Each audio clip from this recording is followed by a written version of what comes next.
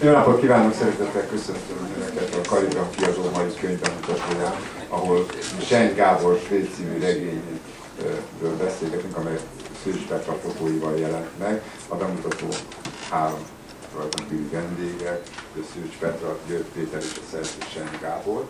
Előtt megkérném György Pétert, hogy néhány gondolatot kiinduló ponton mondja el, és aztán egyetlen beszélgetünk a könyvről. Jó, hát ő meg is írta.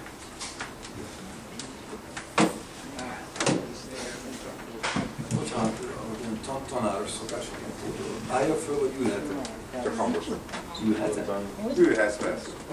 De tényleg, tényleg egy oldal az egész. Hogy realitás, fikció, oda és vissza. A fiktív realitás, a retorikai nyomozás, a szöveg elvaratlanul hagyott kilépései a regény vala az át univerzumából, a drámai vég zenei lehetőségének cserbenhagyása, pontosabban ki nem használása,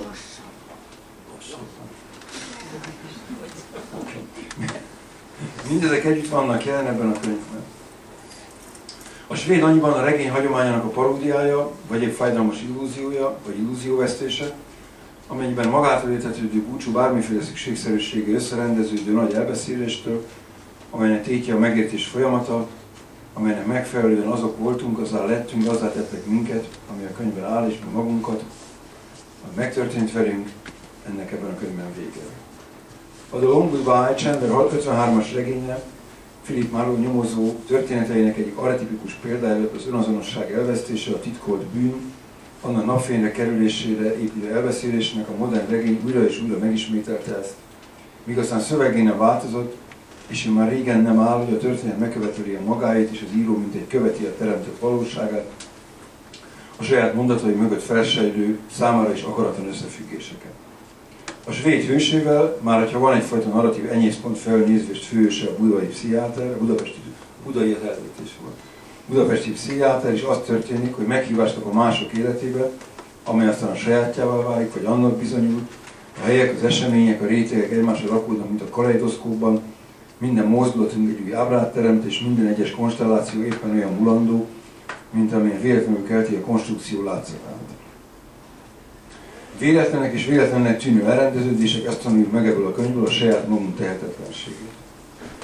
Amennyire én látom ennek a könyvnek a titkos, nagyon is látható, a címlapra kitelt, jól látom, vagy csak kérdezem, hogy jól látom, enyészpontja a titkos kert, a ripótmező, azaz az opni, amelynek rettenetes végét sajnáló fájdalmas pontossággal idézi fel.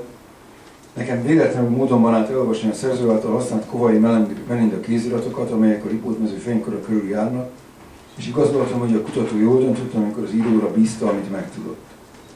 Sajna, mint a Szőcs Petra világosan felismerte, a helyzet az, hogy nem lehet elhagynunk a kerteinket, az intézményeket, amelyekben egykor emberek, gyermekét elhagyó, veszejtő, megmentő anya, tehát a könyv egyik főse, feküdtek napsütött és árnyékon, ágyak, árnyékos ágyakon, a pszichiátria elzárt tereinek utóélete, ez a könyv az egyik legfájdalmasabb felismerése, mindjárt életét elborító árnyék. Legkésőbb a József Attiláról elnevezett szanatóriumot, amelyet az államvédelmi hatóságnak tanácsot adó Szinetár Ernő vezetett, és majd lassan emigrált milliómos titkos otthona az üres háztere halottakkal. A helyekért folytatott küzdelem a történetünk, olvasom ebben a könyvben.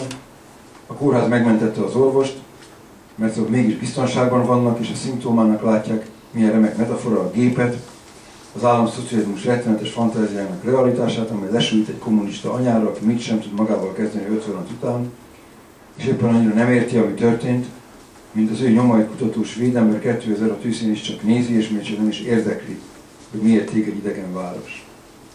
Úgy járnak képbe ennek a történetnek a hősei a történelem forgóajtaján, hogy nem nagyon tudhatják, hogy mikor és miért vannak belül, és mi vár a saját múltjukban, mit találnak a mások életében, amelyet ő fedeznek fel, lám azt sem érdekli a múltja, aki elveszett a jelenben. Végül pedig a nyelvről.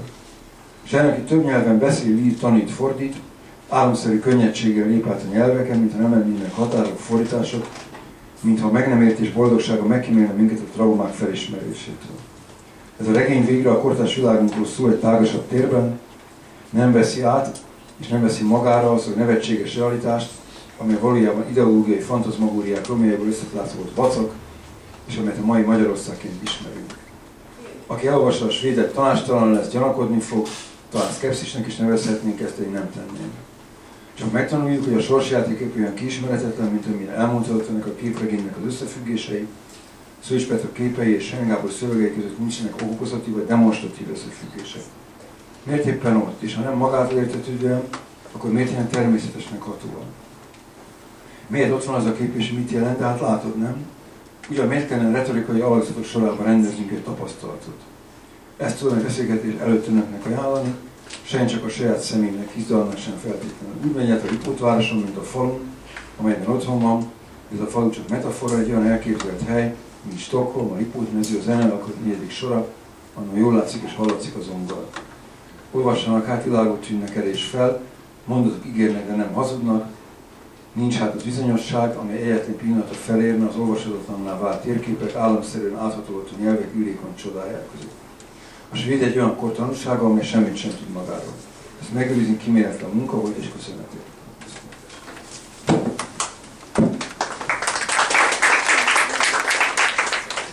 György Péter említette ezt a riportárosi dokumentumot, illetve CRP jelentést, hogy mi volt, meg, mi volt a kiinduló okod ehhez a könyvhöz, ugye lehet mondani egy álmaság történet ez, de azt gondolom, hogy ennek a könyvnek annyi bejárata, inkább az alkotó felől kérdezni, hogy mi volt ez a pont, ahonnan elindultál. Az első dolog, ami megvolt, az az, amit Péter, Péter is említett, az anyának a története, amely Kovai Melinda kutatásaiból sejlett fel. Tehát egy, egy, egy 56 után alkalmazkodni képtelen, a folyam, az új igazságokhoz alkalmazkodni képtelen asszonynak a története, aki, akinek a személyes őrülete egy kor őrületén majd hordozza. Ez volt az, ami megvolt. És, és az összes többi az, az, az, az fikció, és számomra is elég rejtélyes, hogy ez a történet, ez hogyan, hogyan hív, hívta elő az összes többi történetet, ami, ami a könyvben található, tehát, tehát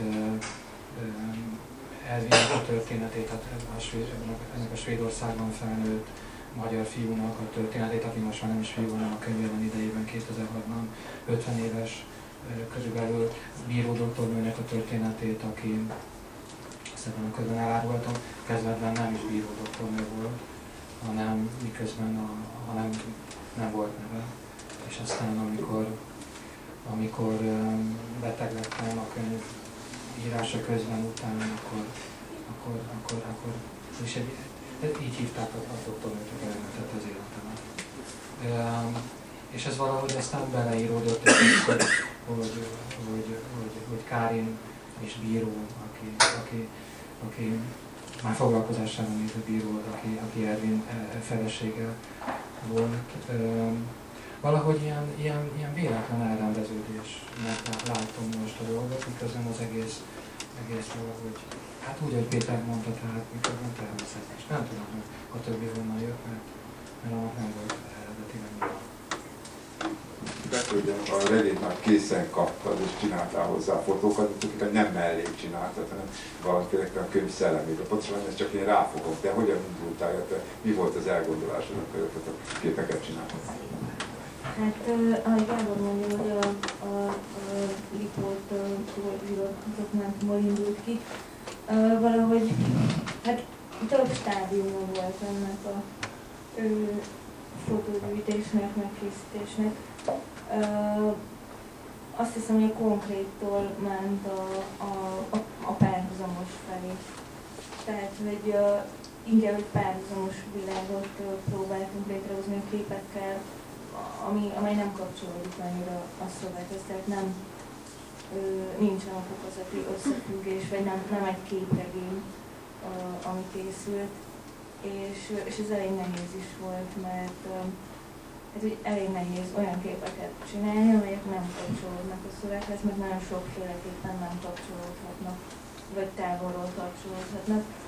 És Viszont azt szerettem volna, hogyha, hogyha a képek azért egymáshoz kapcsolódnak valahogy, és ennek a gyújtópontja az elmegyő intézet volt, tehát olyan helyszíneket kerestem, de maguktól is jöttek, amelyek elhagyatott házak, falrészletek, stb., ami, amelyek valahogy az Álmegyógy Intézet hangulatát hozták, mert valahogy ez egy, ez egy ilyen elvesztett otthon a, a szereplőknek, vagy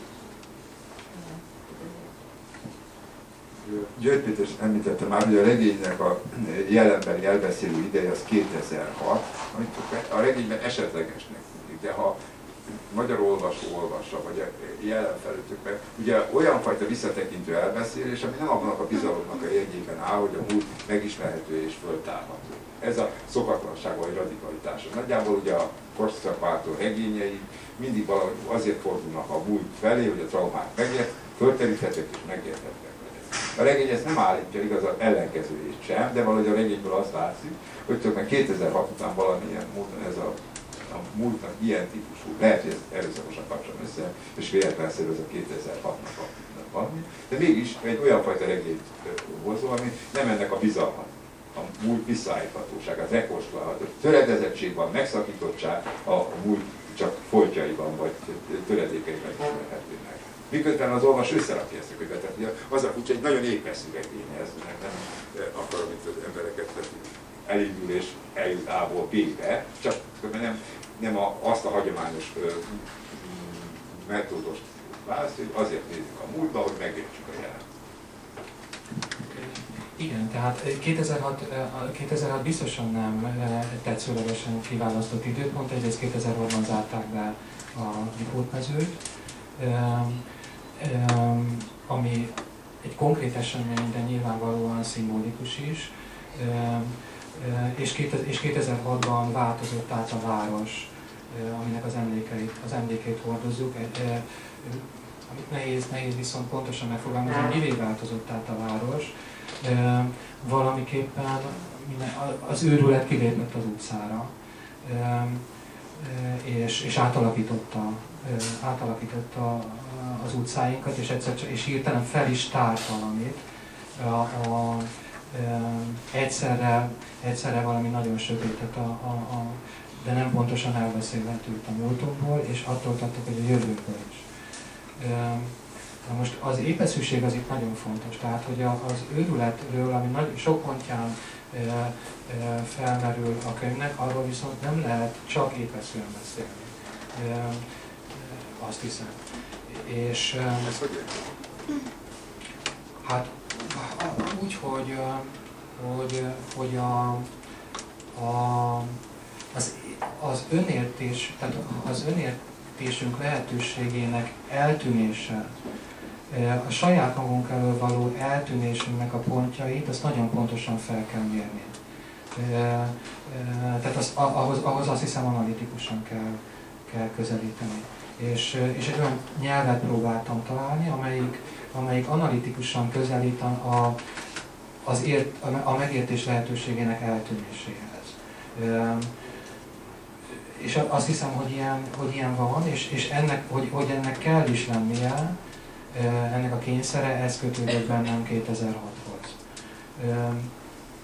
Igen, tehát azt hiszem valami ilyesmi az előbb épeszűségről beszélt, akkor nem feltétlenül arra, hogy a, milyen a elbeszélő tekintete, vagy a regény nyelve, hanem leg, legelsősorban az, ami szerintem a, a Gábor munkájára bizonyára, hogy a, a legjobb az elbeszélő munkájára gondolom, hogy a történetmondás és a reflexiónak az aránya az, az hihetetlenül pontos. Miközben ugye arról beszélsz, hogy van félképpen az őrület, a megragadhatatlanságok, a, a történeti és az ember meg úgy miközben nagyon, nagyon pontosan beszél történetekről, és ez nagyon reflektálja is, és távolságot is tart, és van egy forróságot történetnek, és egy, egy tartózkodó távolságtartás, hát tetszik hűvösségében, ugye ez a sok tekintetben rejtélyes véd, ami első pillanatásra gondolom, megütközik az olvasó, hogy mit, mit is jelent, meg helyszínre. Nekem a, a, a, a történetmondásnak a hűvös forróságáról beszél. Ez mennyire volt, tehát mikor volt meg ez a hangja a történet? Azt hiszem, hogy ez, ez, ez, ez nagyon hamar megvolt, tehát, a, tehát az első mondatok meghatároz, meghatározzák azt, hogy milyen lesz egy, egy regénynek a nyelv. Azt nehéz eltalálni, de itt ez, ez, ez nagyon hamar megvolt, viszont utána, utána a munka az nagyon sokáig tartott, mert minden, minden, minden mondat és minden, minden fejezet az, az, az nagyon, tényleg nagyon kemény, kemény munkát jelentett.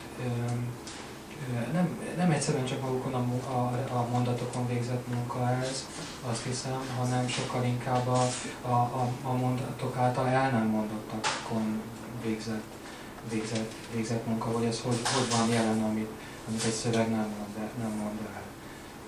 De maga a hang az, az, az, az, az hamar megvolt. Péter kérdezni, mert maradtál erre a, elbeszélésbe, vagy a, a bevezetőben tulajdonképpen ez a, a, a szövegszerűség és világszerűség, ugye agyoncsócsák kettőségét mondtad, hogy ez egyszerre, egyszerre egy világszerű elbeszélés, ugyanakkor meg bizalmatlan is, hogy leírható-e a világ. De ugye az embernek az eszéket tapasztalta, hogy mégiscsak valahogy érthetővé válik az ő, amit beszél.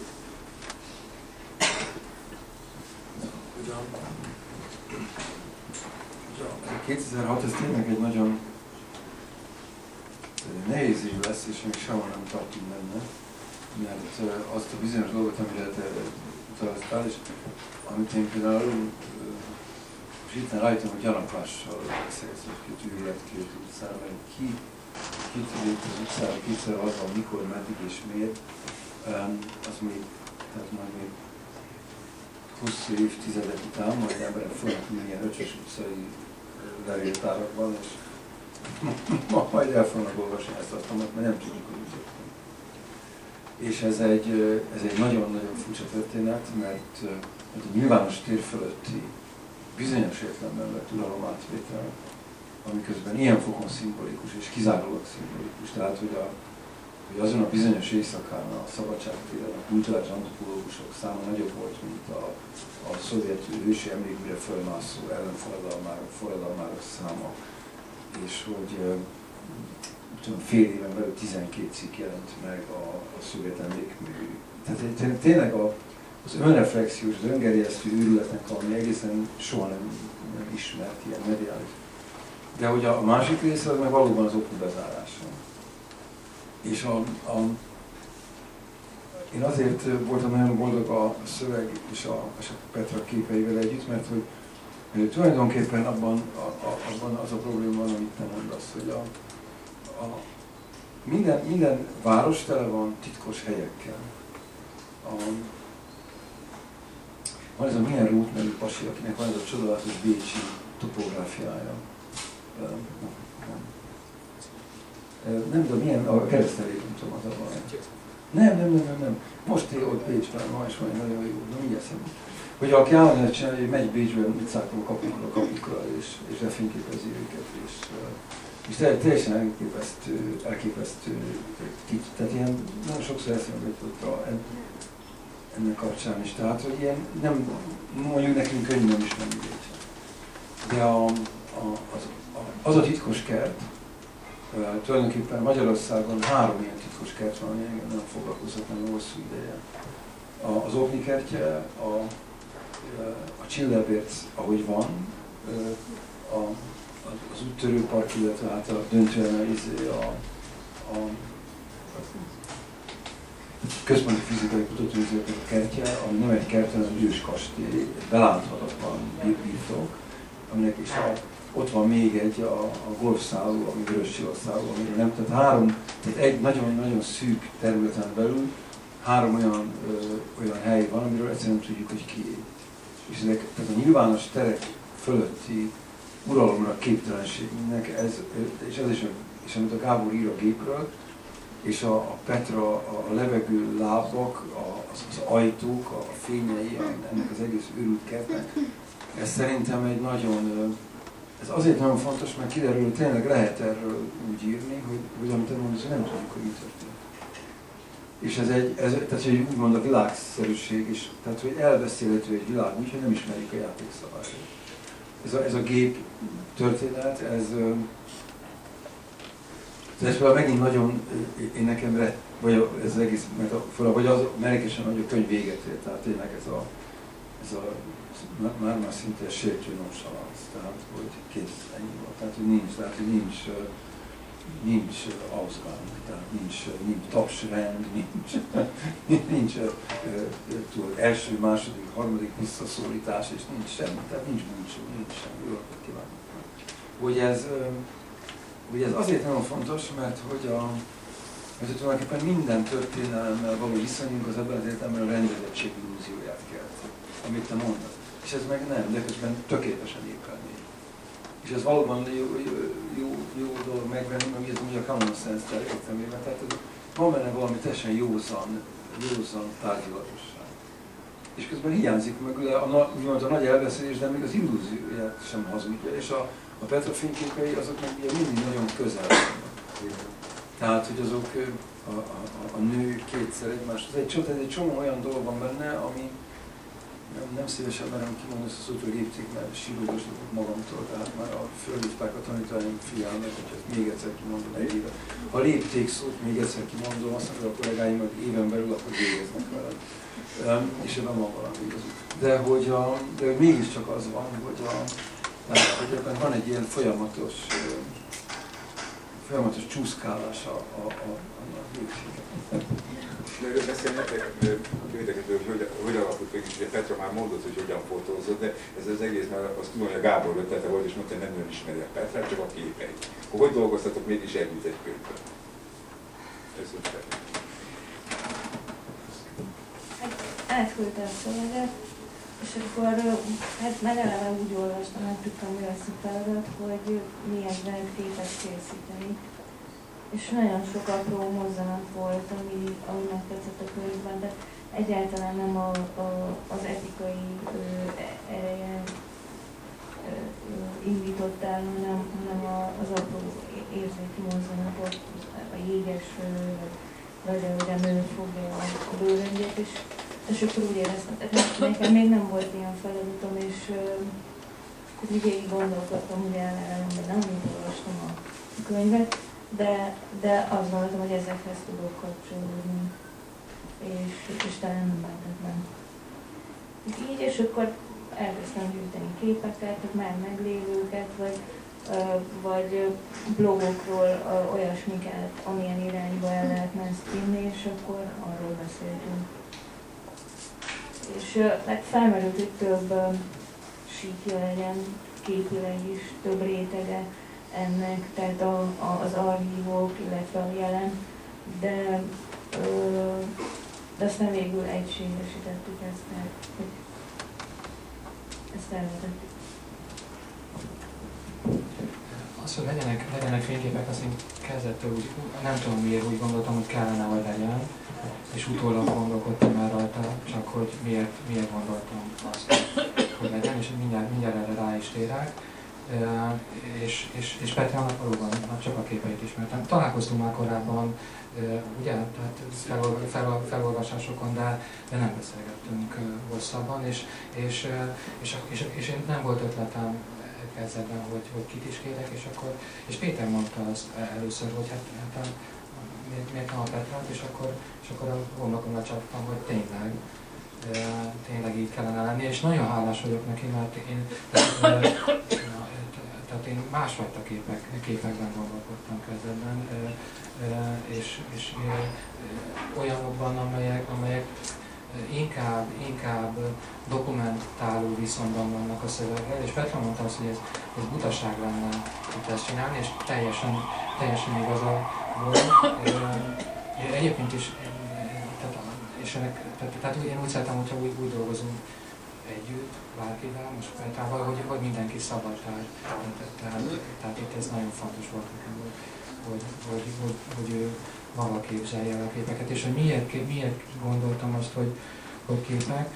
Itt a rendezettség kérdése, hogy a, a, az első fejezetnek az a cím, hogy, hogy, hogy, hogy, hogy a katalógus, és aztán utána a könyvben nagyon sok fajta katalógus van. Grönevád úr vezet egy füzetet a, a nála lévő véletlenszerűen hozzákerülő tárgyakról.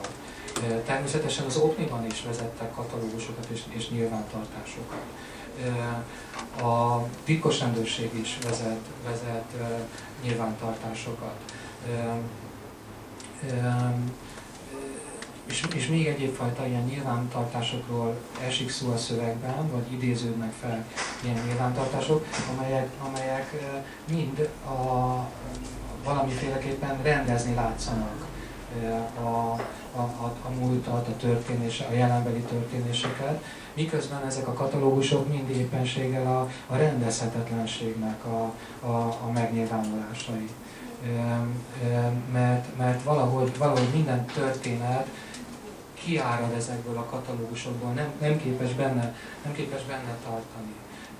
Nem, nem, képes megtart, nem képesek ezek a katalógusok megtartani, és én úgy tapasztalom, hogy ez is az őrületünknek az egyik, az egyik, egyik megnyilvánulása, hogy, hogy tulajdonképpen ha valamire, akkor ilyen nyilvántartásokra bíztuk a, múlt, a múltunkat, meg, meg bízzuk a múltunkat, és ezek, ezek, ezek valahogy ez, erre alkalmat, alkalmatlanok, de máshol meg tényleg nincsen pillanatnyilag. És a képek is tulajdonképpen, ezek a párhuzam, tehát amik nem merőlegesek a szövegben, hanem párhuzamosak, ezek a képek is valamiféleképpen nyilván tartják a, a szövegnek a, a, a, a nem tudását, mint, mint tudást.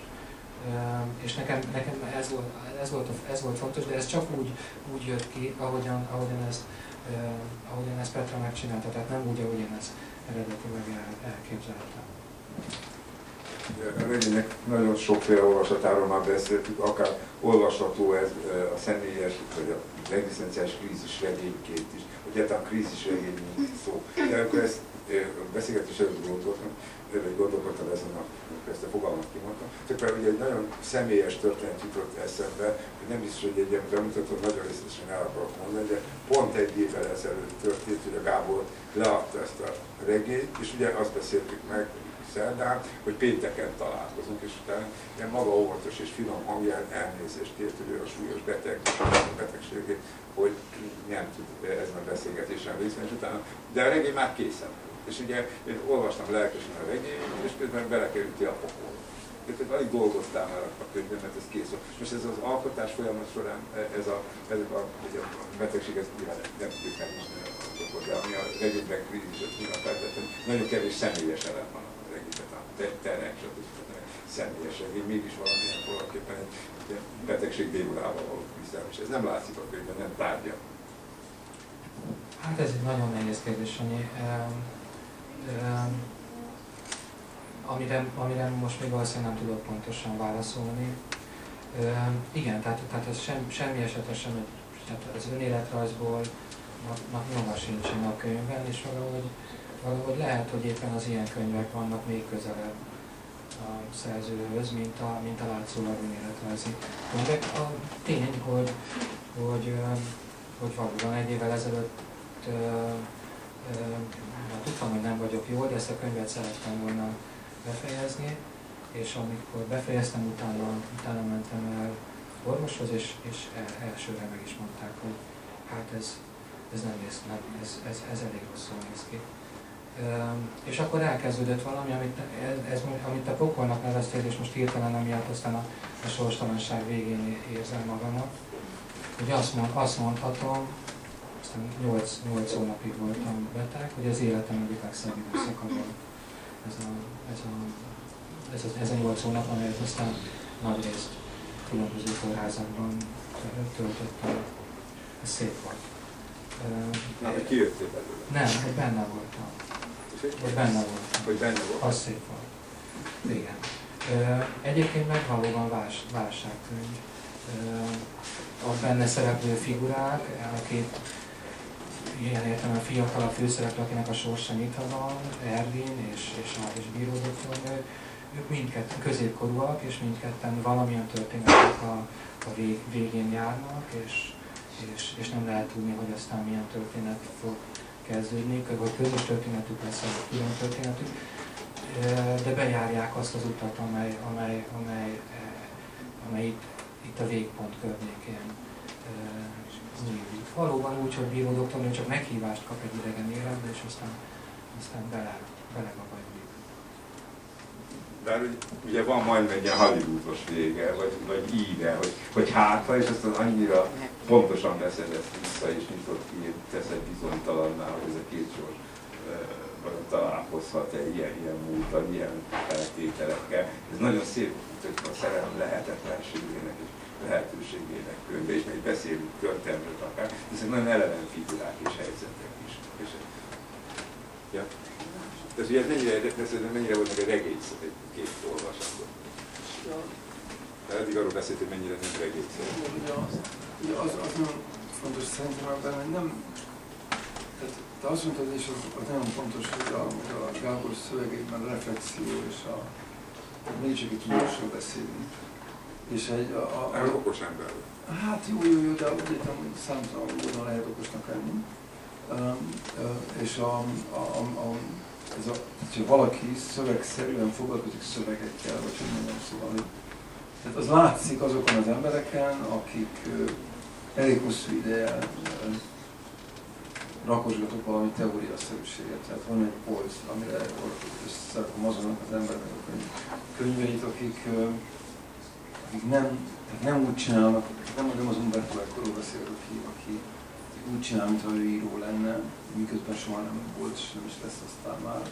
De hogy, hanem, hanem azok a szövegek, amik, amik szép irodalomnak minősülnek, Bán Zsófia, meg ilyen hasonló szövegekre gondol, de közben mindig minden egyes ponton visszautalnak, meg adaptalnak arra, hogy, hogy ő neki van egy foglalkozása, amikor idegen bánik ezekről a szövegek. Csak azért mondom, ez egész forró ideg dolog, tehát hogy ez, tehát, ha már jutottunk a, egy bizonyos értelembe vett dologban, aki mondjuk a, a, olyan ember, aki a, a Gintli-Sein szerzőpáros ismert Tour de az egyik szerzője, az tud hidegen írni írókról, mi tud kihagyni írókat, lesz, lesz is ebből, lett is ebből bajerék, hogy nagyon, nem, nem jól mondanám, sértődött sétődött özvegyek és sétődött monográfusok a levegő után kapottak, hogy hogyan lehet ezt ilyen, tehát hogy egy idegen beszélni. Tehát, tehát egy olyan ember, aki egyébként a pszichiáterek ilyenek vicces módon egész arra, hogy nem róluk van szó. Akkor hirtelen nagyon felforrósodik a levegő, és akkor kiderül, hogy a, az, azok egy könnyen odavert mondatok, hát az ember halandó, az, az mint én nagyon bírom, akkor tehát az, hogy ő, az, az, egy, az egy más eset. Szóval, hogy, hogy ez a kettősség, ez nagyon, ez nagyon ott van ebben a, ebben a történetben, már, már én szerintem. És hogy, a, és hogy azt, hogy mi minősül történetnek, azt, azt ez a könyv nagyon, azért teszi nagyon bonyolultá, mert hogy a belső történetek, és úgy mondom, hogy ellopom tőled, hogy ezek a hollywoodi sorsfordulatok, ezek, ezek nem válnak el egymástól. Tehát nagyon sok minden történik velünk, úgyhogy meg, hogy tényleg ki nem mentél a házból. És ez a, ez a kettő, ez folyamatosan átjárja egymást, ettől van szerintem ez a, mondjuk így, te, te valószínűleg jobban fejezted ki magad, mint én, ez a nem, nem suta, hanem frappáns vég, hogy, ami sokkal ígéretesebb, mint, a, mint hogyha ha le lenne írva az összes logikai esélye bármi. Azért még van egy, van egy csere is a könyvnek, azt hiszem, ami, ami magától alakult, nem azért, mert én akartam. Pedig az, hogy, hogy, hogy vég, végig, végig, végig késeltetéssel, a késeltetés történik, tehát, tehát, tehát valamire én is vártam. Tehát én is nagyon lukkoltam a főszereplőinek, hogy őszinte legyek, nagyon lukkoltam, hogy, hogy, hogy egy ilyen egy ilyen kaszablanka vége legyen, egy... egy, egy hát, hogy szeresse meg a város. Tehát, tehát, hogy, hát valami, tehát, tehát, hogy, tehát, tehát drukkoltam, hogy, hogy, össze, tehát, hogy összejöjjenek. És, és, a, és, a, és, akkor a, és akkor végig drukkoltam, és az utolsó lapokon rájöttem, hogy hiába drukkolok én, én nekik, ez nem lesz igaz. és, akkor, és akkor tudomásul kellett venni, hogy ez, hogy hogy ez most nem fog megtörténni, és nem tudom, hogy meg fog-e történni valahogy, úgyhogy én változatlan drukkolok nekik, de, de, de ilyen könyvben kívül történik. Csak megnéztem a végét, de szerintem összejönne. De ugye vége kell legyen a könyv. Nem, de ahogy a képek vannak, ezt nincs fénykép a végén, de ahogy Gábor leírja, és ahogy képekbe tört el a mondani valóját, ugye egyért, tehát például van egy ilyen Miközben Ervin lehajolt a mappáért, a könyökével ügyetlenül megbökte bíró doktornak sípőjétnak. Tehát hogy egy filmmel lát valaki egy ilyet, hogy szerintem egy egyértelmű ígéret. Úgyhogy nem, nem szomorú. Tehát szerintem vidámabb vége van, a kaszablankának. Úgyhogy kár Hogy eldöntetlen. Tehát ugye csak arra utaltam, hogy egyrészt ugye le tudja zárni a könyvet átva a modern regényeknek, ez komoly gondja, hogy Másrészt ugye van egy ilyen affektív erő az egész könyvben, mondjuk egy, egy nagyon hosszú retartáció, épül le a város, múlt, stb. És talán hogy valami kialakul köztük, mert is az, talán megszereti ez az Ervin Budapestet, vagy a Lipont város, vagy az anya emlékét, vagy valami, és nem lehet mindenit, hogy valami, valami van. De amit én mondtam egyébként csak azt, hogy valami visszavett az okosságából, és ez jól tettem. Ja, ja, ja. A, a, a, ja, nincsen túl okoskodva. Nincs túl okoskodva. Tehát nagyon, nagyon jó arányban van az okossága, Gábornak, ugye Benga agya és a, a történet között, vagy ezek az emocionális elemek között, vagy a tárgyaló, vagy ahogy, a, ahogy láthatja, vagy ahogy leírja a, dolgot, és ez, ez, ennek az egyensúlya a nagyon, nagyon jó hangja. Vagy egyáltalán viszi az olvasót, akkor mindenki, mindenki olyan, mint a cselét lát, hogy szeretné végig olvasni, sírni, szomorkodni, stb. És ez az erő megvan a könyvében. Ezért nyilván más könyvek másképp működnek, de, de az ilyen nem teljesít egy ilyen regényszerű Ráadásul még vége is, mert a Petra szerint jó vége van, szerintem is jó vége van, csak nyitottan, tehát nem, nem lehet tudni, fájdalmas, és így tovább. És tulajdonképpen csak azt akartam kérdezni, hogy ez a, ez a betegség az gond, segített az öregében, gondolom, meg valamit még dolgozni kell, nem sokat dolgoztál rajta. 95%-ban volt körülbelül készen, ja, és akkor, akkor még a a mondatokon javítottam, de ezt, vagy, vagy javítottam, de szóval a szövegen még, még dolgoztam, de azért ez alapvetően úgy emlékszem, hogy, hogy, hogy, ez, hogy ez kész, készen volt. Hát, és nekem az fontos is volt, hogy, hogy úgy mennek a kórházba, vagy, vagy akármi lesz ez megvan. Igen, mert ez, ez, ez, ez megvan, ez egy ezt, megállítottuk. És miket írtál azóta? Hát verseket, tehát ami, ami elkészült, az a verseket írtam meg. Én, hát ennyi, ennyi, tehát ilyen nagyobb dolgokat nem. Hát, De regényt itt akarsz írni? Igen, szeretnék. Jó, szerintem ez jó végszó, mert mondtuk, hogy 50 percnél ne legyünk hosszabbat, és hogy feltétlenül meg van. Tehát regényt fog írni, és vannak, vannak versek, és tényleg. És jól van. És, és jól van. Ez a hát, Nagyon gyakorlatias, tudod? Nagyon gyakorlatias meg minden, de azért tehát köszönöm szépen önöknek a figyelmet és a türelmet, a szerző dedikálja a könyvét.